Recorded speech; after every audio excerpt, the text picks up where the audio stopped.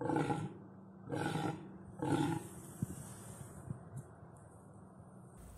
guys, I was digging through my locks recently and I've stumbled upon this round cylinder. It's the E squared lock and I've completely forgotten about this lock. It was uh, about two, two and a half years ago maybe. I I saw a video of uh, Bosnian Bill picking it, video 706 if you're interested, on his channel. Uh, and I actually wrote him a message and asked him asked him if he could give it to me because I really found it first of all beautiful and second of all quite challenging. Look at the bitting.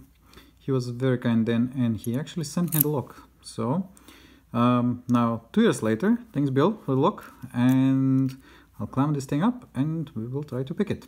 See you in a moment guys. So I'll climb it up and let's have a look if I can actually pick this log. Here's the key once again to have a look on the bitting. I think it's absolutely insane. Well, let's have a look. And pardon the noises, the kids are watching a movie, so there might be some noise on the background. So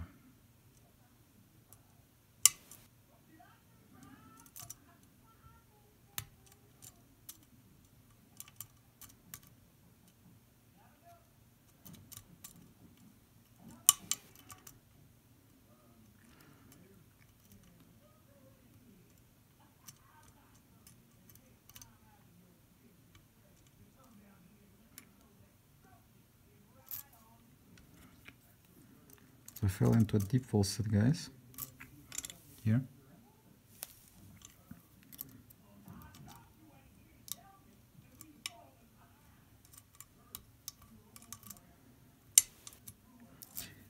Now, even deeper false set.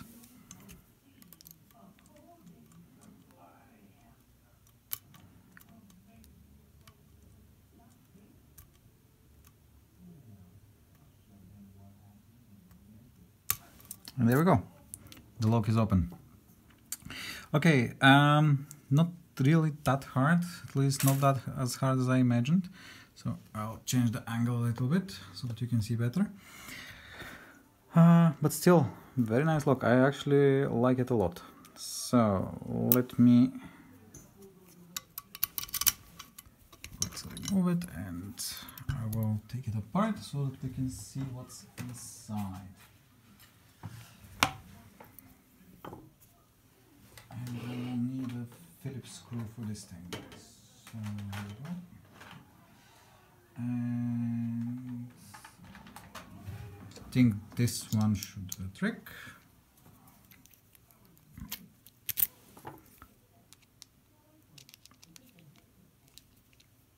Hmm. Maybe this one is not the right one. Let me have a look again.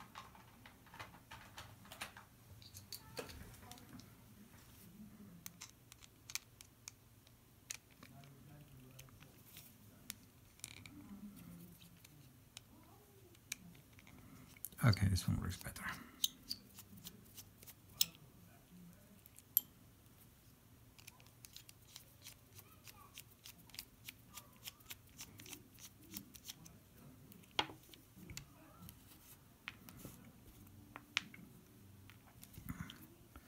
So, see this 4 will work.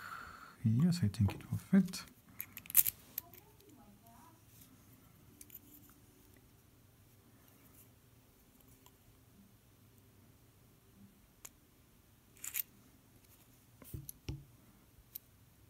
There we go. All six pins are inside. I don't see any nastiness in sense of counter milling and stuff. There are oops I think I almost lost one. These are the passive pins. So these are the passive pins. We have two from this side and I assume two from this side. So one and the other one the well they all fell. So very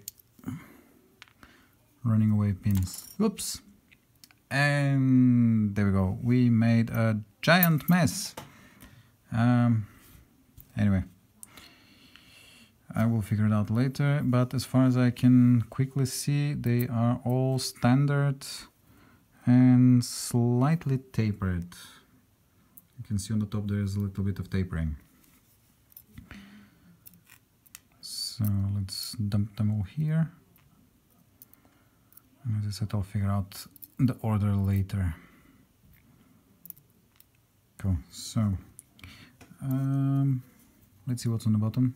Hopefully I will not make a mess with the bottom.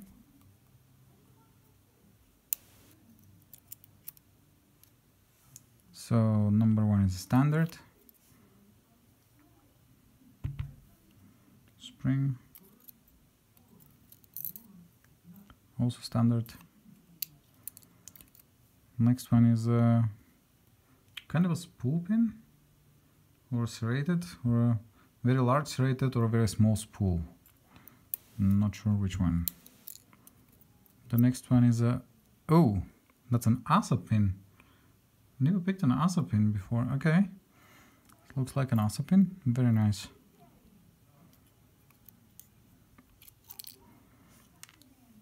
And we have another spool, I think again from an ASSA kit. And another spool. And last one is another spool. Very nice. So let me dump also, also all the springs. Okay, all the springs, they seem to be as also the same. So it's not a double spring, it's spring that just became double. Okay.